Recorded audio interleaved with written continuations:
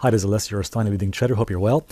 In this video, we're going to take a look at something quite interesting and I think very fascinating as well, which is whether there is a link between Bitcoin and the stock market. In fact, can we actually predict the next crash in the stock market by looking at what Bitcoin is doing. There are some research which suggests this might actually be the case. Now, before I talk about that, actually, I do want to mention a couple of things first. Uh, the first thing I want to mention is you probably heard this morning that Stephen Hawking, one of my heroes and a person I've really admired ever since my uh, early 20s, uh, has died, in fact, passed away this morning at the age of 76. And I think it's important to mention just because he is a guy that actually had an important impact on me personally ever since I read his fantastic book, uh, Brief History of Time. You might have read it yourself. I read this back in 1991, a few years after he published it. And I can tell you it's the one book that had the greatest impact uh, on me, uh, both professionally and also uh, philosophically, and I would say spiritually as well. And what I'm going to do is I'm going to actually make a video, a separate video, purely on Stephen Hawking's theory and also explain a little bit more about his ideas, which I think are worth certainly just going over. The second thing I want to mention here is that this is actually my last video for this month. And that's because for the next few weeks, the next three weeks, I'll be away on vacation. And what I'm actually doing is flying from London to Dubai, stay there for a few days, and then from Dubai, I'm going to one of the most amazing places in the world, and that is Persepolis in Persia or Iran. Now, if you're not familiar with Persepolis, now I've heard millions of tourists go there every year, and essentially it is the seat of the Persian Empire. It is the place essentially where the Persian Empire blossomed. Now, uh, about 2,500 years ago, uh, the only empire, the superpowers of the world, were the Roman Empire and there was the Persian Empire. Now, as a student of history myself, and of course, if you love history, then this is the place you really want to go and see. And essentially, this is the place where you had uh, the great Persian kings like Xerxes, Cyrus the Great, and Darius. And if you've seen the movie 300, which by the way is one of my favorite films, a lot of people don't like 300 because they say it's historically inaccurate, but I don't really care about that. It's a great story. And in that movie, there's this character who, of course, is the Emperor Xerxes, and as you can see, is surrounded by these symbols, and these are the symbols that essentially are in Persepolis, as I've just mentioned here. They're all here. And uh, by the way, famously, about uh, in 330 BC, Alexander the Great, uh, when Alexander the Great conquered Persia, he set fire to this entire region. And uh, apparently, there's the story is he regretted actually having done that because he himself was a great admirer of Darius and Xerxes and uh, Cyrus.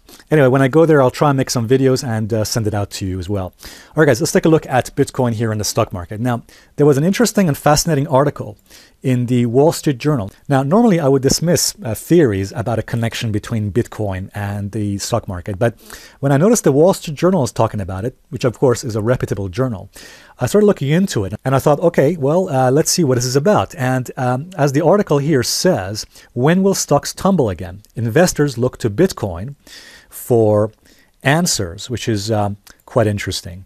And uh, it says over here investors are latching onto Bitcoin as a new indicator for determining whether the stock market is heading for another downturn, which is quite interesting. So, a lot of the volatility, so the volatility in Bitcoin seems to have some connection to what happens to the stock market. Personally, I mean, I've looked at the charts and I've looked at this supposed connection.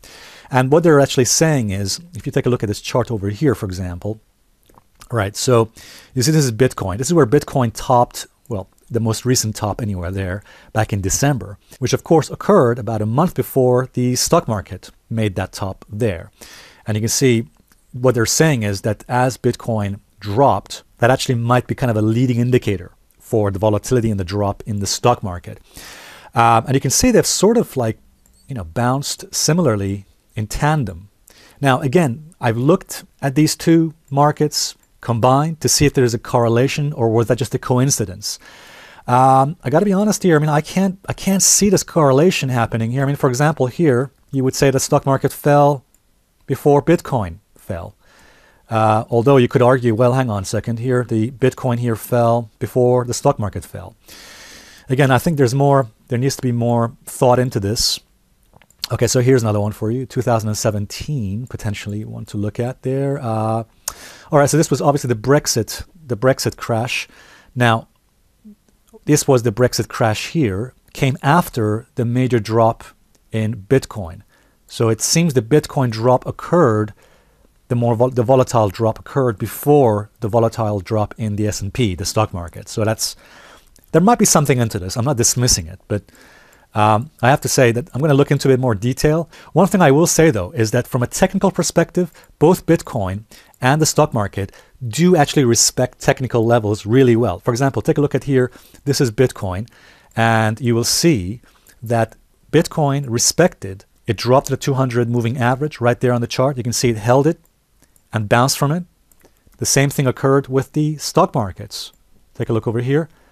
There you go. So the stock market also volatile drop down to the 200 moving average, held this level, nicely bounced from it.